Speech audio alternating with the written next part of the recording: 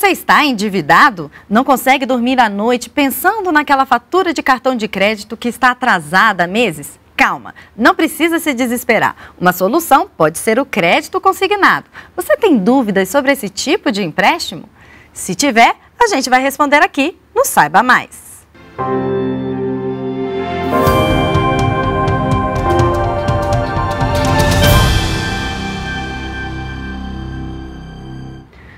Estamos no estúdio com Roberto Piscitelli, do Conselho Federal de Economia, que vai tirar as principais dúvidas enviadas pelos nossos espectadores. Bom, para a gente começar, Roberto, o que é o empréstimo consignado e quais são os beneficiados?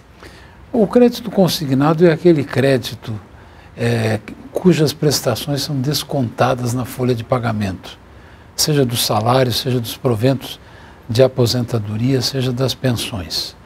Então, o servidor, o aposentado, o pensionista, obtém o crédito é, junto a uma instituição financeira conveniada ao órgão ao qual ele está vinculado, ou ao próprio INSS.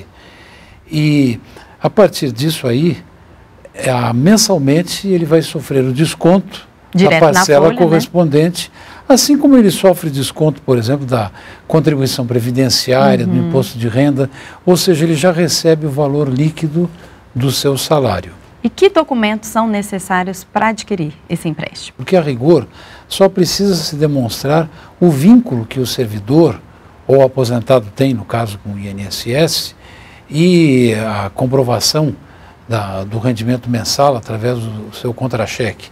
Em alguns casos pode até ter nome sujo, mas é realmente um empréstimo muito fácil de ser administrado, muito seguro para a instituição financeira, o que ajuda a entender a razão de a taxa de juros ser tão baixa. Não tão baixa, porque no Brasil nenhuma taxa de juros é muito baixa, mas é bem mais baixa que as demais. Né?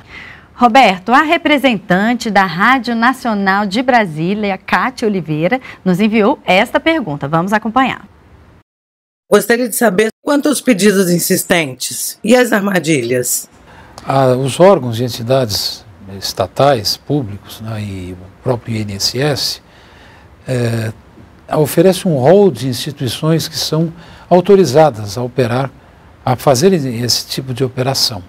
Então não há dificuldade em identificar essas instituições, isso inclusive nos dá a oportunidade de avaliar as condições que cada uma delas nos oferece, se, onde os juros são mais baratos, uhum. onde os prazos são maiores. Fazer esse comparativo para ver qual é mais vantajoso. É?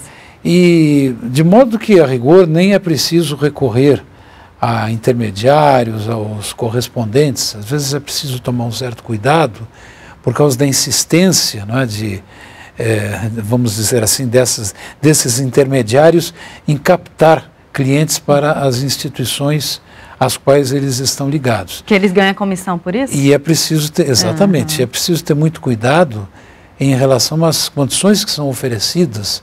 Quer dizer, eu recomendo que insistentemente que as pessoas examinem o tipo de contrato que estão assinando. Se as condições, por exemplo, oferecidas por esses intermediários correspondem àquelas que constam expressamente dos contratos. Além das fraudes que podem Além existir. Além das né? fraudes que são muito comuns em relação a esse tipo de modalidade. A pergunta a seguir foi enviada no nosso Facebook pelo Aurélio Prado, de Séries Goiás. Vamos ver aqui no telão. Em uma eventual quitação antes do fim do contrato, existem estímulos, tipo descontos especiais? Não, não necessariamente. É, há sempre uma possibilidade de renegociar ou tentar renegociar a operação com a instituição financeira. Muitas vezes a instituição financeira não, não tem muito interesse em renegociar ou em conceder, por exemplo, descontos por pagamentos antecipados. É? Então, é uma questão de verificar caso a caso se realmente existe essa possibilidade e verificar também se isso é realmente vantajoso, porque pode ser que o desconto que esteja sendo oferecido, anunciado, não seja compensador, ou seja, não compense aquele aquele acréscimo que foi calculado quando da assinatura do contrato. E por fim, uma última pergunta enviada também no nosso WhatsApp. O Luiz Adalberto da Silva, diretor adjunto da Confederação Brasileira de Aposentados, Pensionistas e Idosos.